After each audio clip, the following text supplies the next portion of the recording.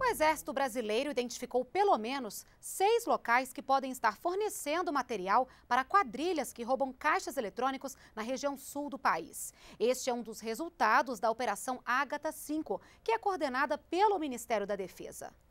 E é de lá que a repórter Priscila Machado traz ao vivo as informações. Priscila, boa noite.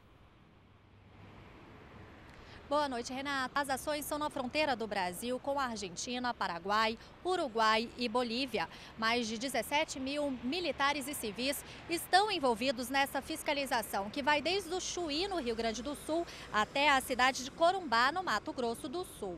Exército, Marinha e Aeronáutica participam da Ágata 5, que conta também, além do Ministério da Defesa, com sete outros ministérios e 30 agências federais. A fiscalização, o objetivo dessa operação é reduzir a incidência do tráfico de drogas e de armas e também o combate ao contrabando de animais silvestres e de produtos ilegais.